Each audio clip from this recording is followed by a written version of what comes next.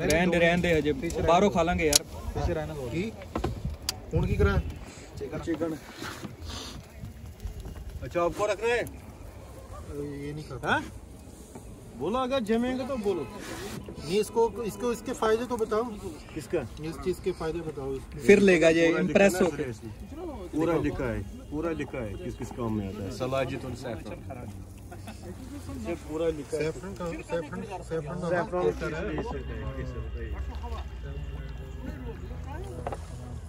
saffron